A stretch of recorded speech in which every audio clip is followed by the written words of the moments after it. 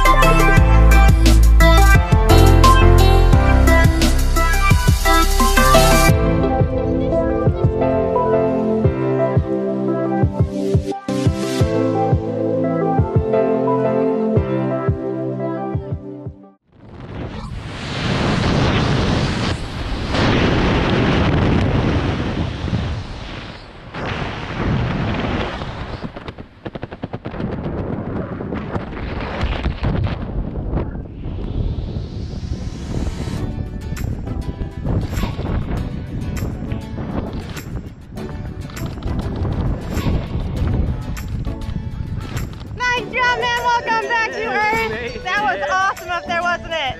So, what was going through your mind in the door of the plane, man? The door of the plane, I was like, I might die in 2020. Beautiful.